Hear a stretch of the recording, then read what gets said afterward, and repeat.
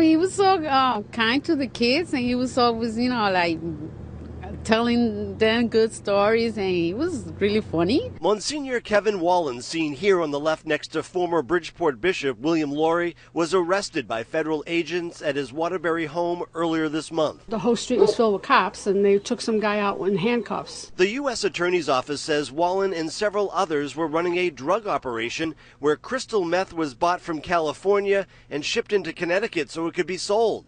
Wallin served at St. Augustine's in Bridgeport for nearly a Back in 2011, he took a leave of absence citing health issues. The charges involve six drug transactions between September of 2012 and this month. They were taking bags of stuff from the house. The Bridgeport Diocese tells us Monsignor Kevin Wallin's arrest comes with a sense of shock and concern. It goes on to say the diocese stands ready to help as it has throughout the past two years. We ask for prayers for Monsignor Wallen during the difficult days ahead of him. I don't want to judge anybody, but it's, it's, it's tough.